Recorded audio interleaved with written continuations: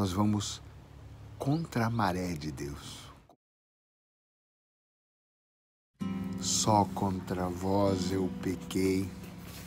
O mal que eu fiz a alguém, a pessoa vira as costas e vai embora. Fica aborrecida no momento e segue. Mas os frutos do meu mal foram para a eternidade, estão diante de Deus.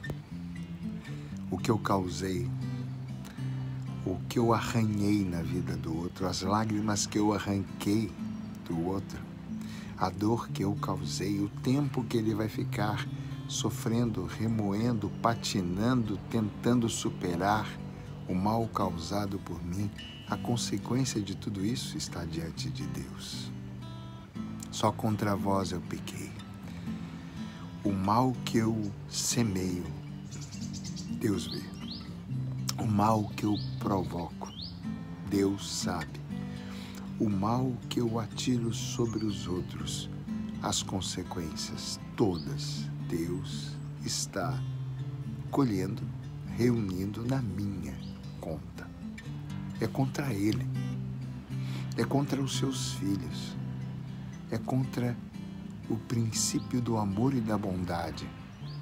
É contra a misericórdia, é contra a generosidade, é contra a gratuidade, é contra Deus amor que nós fazemos o mal.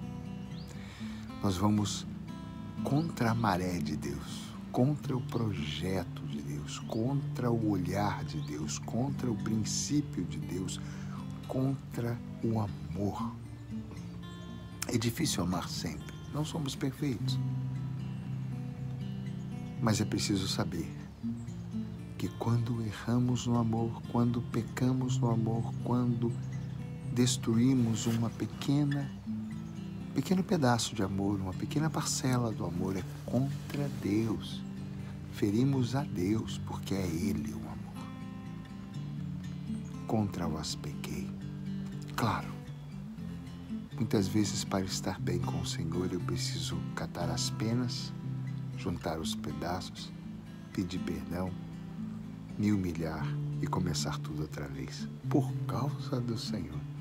Mas antes de tudo e acima de tudo, é contra Ele, é contra seu amor, é contra seu projeto, é contra o seu olhar, é contra o seu sagrado coração que eu peco. Jesus, tem piedade de mim. Eu confio eu espero em vós. No nome do Pai, do Filho e do Espírito Santo.